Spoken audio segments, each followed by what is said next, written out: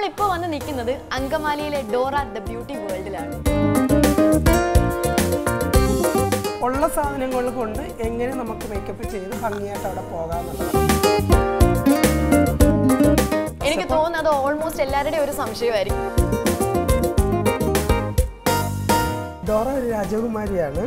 അപ്പോൾ ഇവിടെ വരുന്നവരെല്ലാവരും രാജകുമാരി രാജകുമാരികളായിട്ട് തിരിച്ചു പോകും അല്ലേ?